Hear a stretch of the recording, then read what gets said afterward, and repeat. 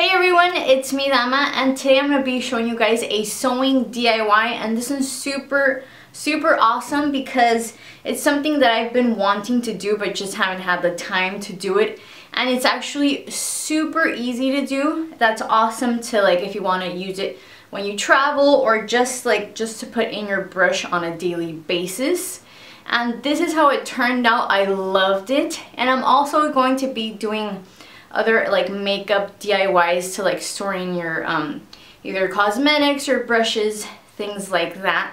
So this is how it turned out and I used this awesome blue fabric. This is one of my favorite colors, this like aqua um, blue and then this fabric as well. I also made a crop top with this fabric. So if you guys want to see that, make sure to um, see below. I'll attach the video. So this is how it turned out, loved it. And you can use this when you travel or just on a daily basis. So this is how it turned out, super, super awesome. So if you guys want to know how to do this step by step, make sure to keep on watching. So first you're going to determine which makeup brushes you'll be using. These are the ones that I use the most often. And choose two pieces of fabric. This is a cotton fabric. This is not stretchy. And I also have this one as well, which is not stretchy. And to determine how much fabric you need, um, it's just about your personal preference. I already have them set like that. And I added a couple more inches along the side. Horizontally, it's 21 inches. And then I have um, vertically 15 inches and just fold it over like so just to determine how much fabric um, you'll be folding over. From here to here it's 4 inches approximately. So that's how much fabric I'm going to be folding in order to keep them um, secured. So the next step is make sure that it's cut. So it's 21 inches horizontally and vertically it's 15 inches so make sure you cut it out like so. And then this is one piece of fabric. This is the printed piece of fabric face down. And this is my other solid piece of fabric both cotton. So the next step is I'm going to be enclosing all of this along the sides. And just make sure to keep at least maybe like two three inches um, not sewing that part. So we're going to be sewing all along here, the sides, the sides, sides, and you're going to stop around right here. So this gap right here, it's not going to be sewn.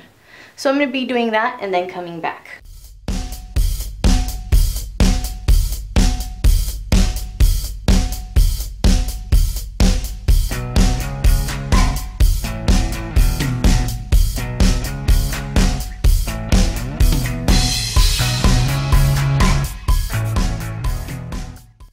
How it looks once I've sewn it and this is a part that I did not sew.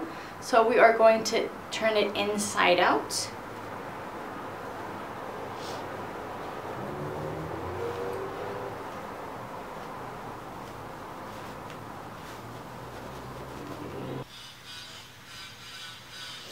So I actually forgot to include where we're going to be placing our ribbon in order for us to close it.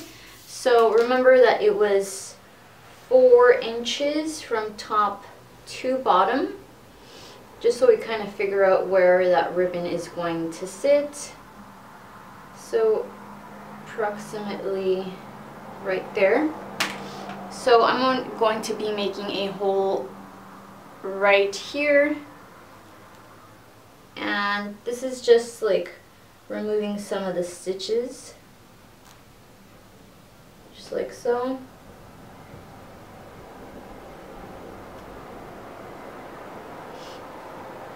so we can be able to add some ribbon. So just like that just make sure that it fits inside. And so make sure that you have that hole there. That's where the ribbon is going to go. And then the next step is to enclose this here as well just so it's more secure and it looks prettier along the edges. So we are going to be sewing remember that hole that we had right here? We're gonna be folding it over and sewing straight sewing straight straight. And then remember for right here you have that little hole. So make sure you allow that hole to be um, to be able to put in the thread. So make sure you don't sew over that. So just that small part. And then just keep on sewing the other part. So this is how it looks once I've sewn all the edges and then make sure that you leave that little hole on the side to put on to put inside a ribbon. So this is the ribbon that I chose and it's about 8 inches from here, from this edge to this edge and I just placed it in half so it's 16 inches in total and I'm just to tuck it in here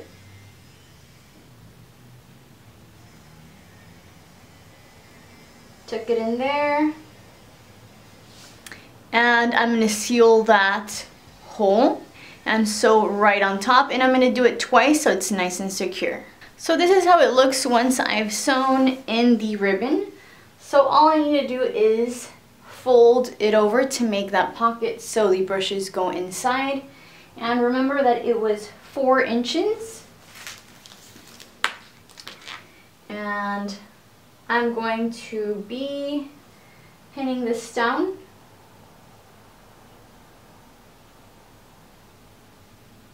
Same from the other side.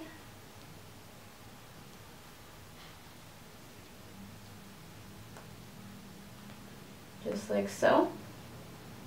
And then I'm going to be sealing it by sewing it straight across here straight across here. And right now for the moment it's just one complete pocket. Then we're going to be adding the individual pockets per individual brush. So now it's sealed from the sides. And the next step is to place all of the brushes just how you want them placed in the holder. So I'm going to be doing that. And let me see, I think I want this one here, this one here, want them closer to.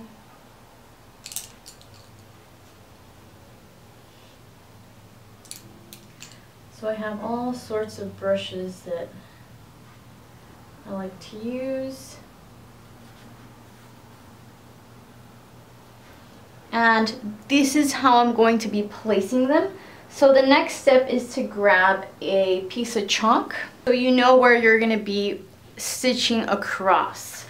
So this is my chalk, this is my measuring tape. So I'm going to make it three inches, so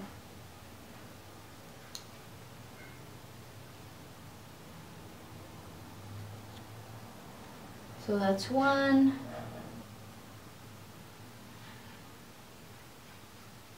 And you kind of want to do this as well, just so you kind of have an idea. So you're, all you're going to be doing is lines right across, just to see where you're going to be placing those.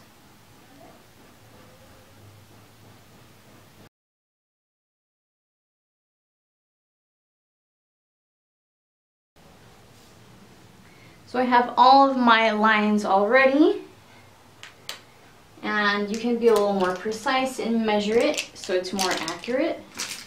So I have all my lines so I know where I'm going to be sewing. So this is how it looks once I've sewn straight across the little pockets per individual brush that I already had in mind. So all I need to do now is just place my brushes inside just like so. And you can even put multiple brushes in one, so that's also pretty convenient. And that's how it looks, and then you can just roll it like that. And tie it and you can travel with it like that or you can just leave your brushes like that and this is how it looks so I love this fabric loved how it turned out and it's super convenient that you can use for your makeup brushes. One more time, so this is how it turned out. Super awesome, honestly. Like I see it, I'm like, oh my goodness, super pretty. No one will ever have one like mine. That's what I like about sewing and I think it's super creative to do your own things.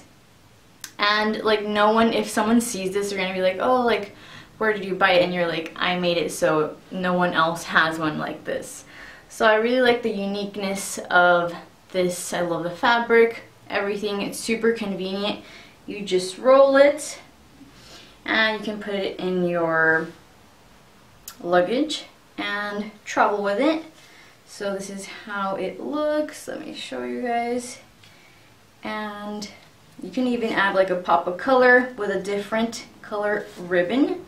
So this is how it turned out. Super awesome. Um, if you guys want to know how to do like other things as well, make sure to comment down below. And follow me on all my social media, Instagram, Facebook, Google+, and did I say Instagram? All that good stuff. So thank you guys so much for watching and as always I hope you have an awesome day and I'll see you guys next time. Mwah.